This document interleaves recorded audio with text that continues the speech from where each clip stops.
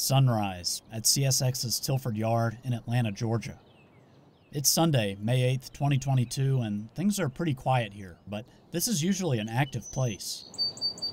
To our west, Amazon is building a new warehouse, and to the east, CSX has constructed a new TransFlo facility. Of course, the yard here used to be much bigger and busier. But we're not here to reminisce. There's a rare train stopping at Tilford today. P001 is the company's Office Car Special, or OCS. My understanding is that it's headed back to Jacksonville, Florida after the Kentucky Derby. You might already know this, but CSX's headquarters is down in Jacksonville. Now, I got to this location around 7 a.m. and only had to wait about an hour. Sure enough, in the distance, there were CSX's ex Amtrak engines snaking around the curves of the old Western and Atlantic Main Line. The W&A put Atlanta on the map in the early 1800s. Through the years, this right of way has been used by a few different railroads and is still active today. The CSX OCS looks sharp, and its paint scheme is inspired by the Baltimore and Ohio Railroad. Of course, the B&O is one of the many railroads that would eventually make up CSX. It really makes you wonder is this what a modern day Capital Limited passenger train would look like? And man, that early morning light makes it look even better. It's interesting that they leave the red marker lights on even when the train is going forward. I would say these locomotives are the closest things we have to CSX heritage units, at least for now.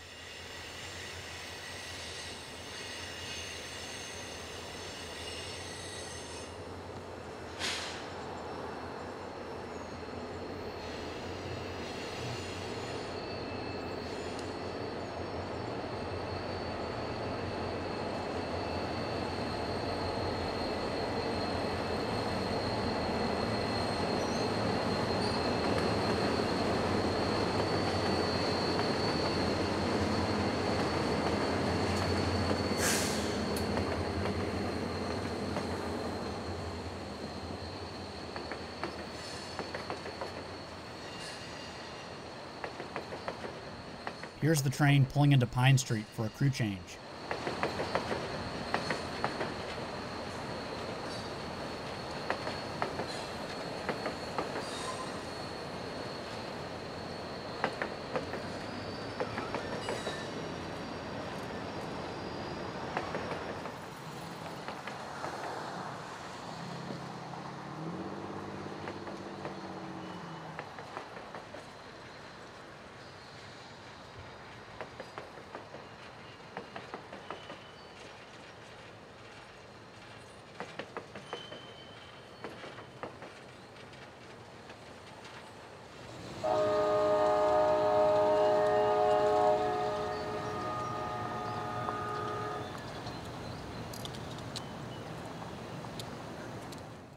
So now is probably a good time to take a look at the train itself.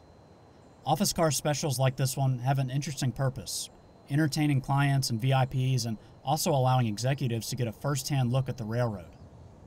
Today, the CSX OCS has three locomotives and 12 coaches.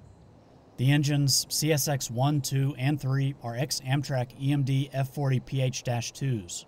Many of the cars behind those are named for executives who led CSX and the companies that came before it. Several of the coaches are older heavyweight observation cars. We'll get a closer look at those in a minute. Now, one of the coolest cars here is probably the W. Thomas Rice. Rice was a very successful railroad executive and played an important role in the merger of Seaboard Coastline Industries with the Chessie System, which formed CSX. The yard in Waycross, Georgia is also named after him. This car has theater style seating that faces this giant window that looks out on the tracks. As you can see, it's also got plenty of lighting. Anyway, this was probably the fastest crew change I've ever seen. They were only stopped for around 5 minutes before P001 was back on the move.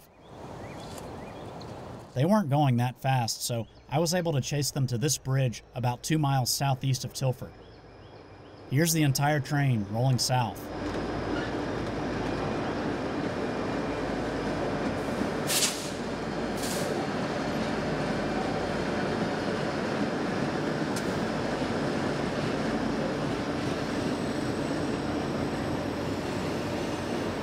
One more car that's worth noting is the E. Hunter Harrison.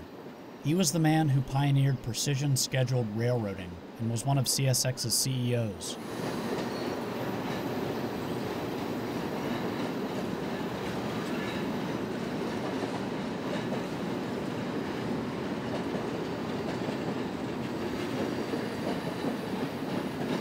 So that's the CSX office car special, but before we end this video, let's go back in time and look at two vintage Baltimore and Ohio photos.